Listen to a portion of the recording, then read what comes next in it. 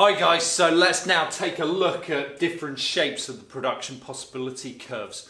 So, so far we've only considered the one that bows out and that increasing opportunity cost that we saw on that diagram. But it's important to understand that these PPCs can be seen in different shapes. For instance, this straight line PPC you'll see again in international economics and your year 13 work when it comes to comparative advantage. Okay, moreover, we can also see this inverted uh, PPC clearly here as well. So let's take a look firstly at our straight line PPC. Uh, now, this really highlights a constant opportunity cost. We can see food and clothing on our axes, and as we actually move from point A through to point B, we give up 10 units of food, uh, but we gain 20 units of clothing. Uh, meanwhile, as we then transition from point C, down to point D, again, we give up 10 units of food and gain 20 units of clothing. So it really does show a constant opportunity cost that if you move to A, uh, from A to B, or from C to D, you see the same opportunity cost throughout.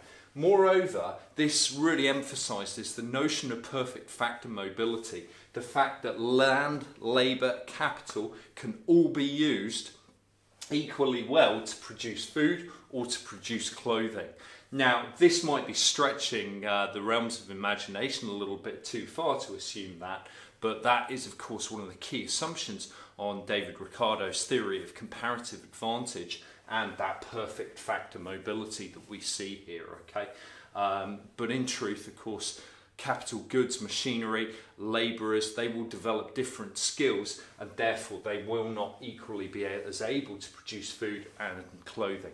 Okay, uh, so this inverted PPC, this, this is really useful in terms of actually understanding uh, the decreasing opportunity cost that we see. So moving from point A to B, we give up 20 units of food and we gain just one unit of clothing. Okay, so there's an enormous opportunity cost in moving from A to B. Meanwhile, if we move from point C to point D, we can see we give up two units of food, but we gain 20 extra units of clothing. So that's really, really quite significant there. Uh, so as a consequence of this, we really see uh, the notion of decreasing opportunity cost and the fact that moving from C to D, you only have to give up two units of food to gain 20 units of clothing. Um, what we also see here is that an economy is likely to choose between one of these different specialisms. Uh, whether it chooses to actually uh, focus on producing food or whether it is likely to choose uh, clothing depends really where their advantages lie. Uh, but choosing to do one or the other allows specialisation to be developed. That is, that your factors of production uh, become specialised in producing either food or um, clothing, and as such, that enables you to develop very, very large economies of scale by employing specialist workers, by uh, employing specialist machinery to really boost productivity. And as such, as soon as you actually start moving resources away, then it will actually have a big impact upon your level of production there. Okay, so if you choose to move from D to C, of course, then you are foregoing quite a substantial amount of uh, production of clothing just to gain two extra units of food.